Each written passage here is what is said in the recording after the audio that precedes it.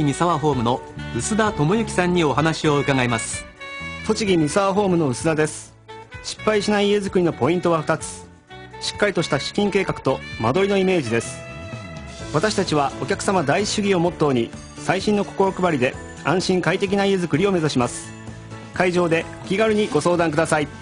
宇都宮ベルモール会場栃木三沢ホームの薄田さんありがとうございました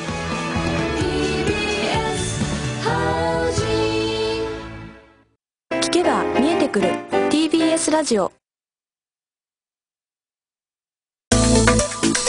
アメリカ FRB がゼロ金利政策を解除。日経平均株価は一時400円を超える値上がり。産経新聞加藤前ソウル支局長の裁判。現在も公判が続いていて間もなく判決が出る見通しです。低所得の高齢者に3万円を給付する政府案自民党内で了承も小泉進次郎議員らは整合性がないと批判。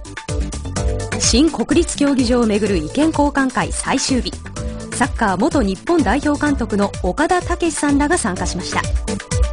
引退を発表したサッカー女子日本代表の澤穂希選手。この後都内で会見を行います。TBS ラジオ。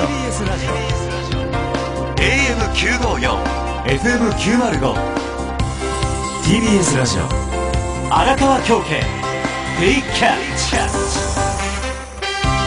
こんにちは。荒川京慶です。こんにちは。片桐千秋です。3時半を回りました。ここからはデイキャッチでお過ごしいただきます。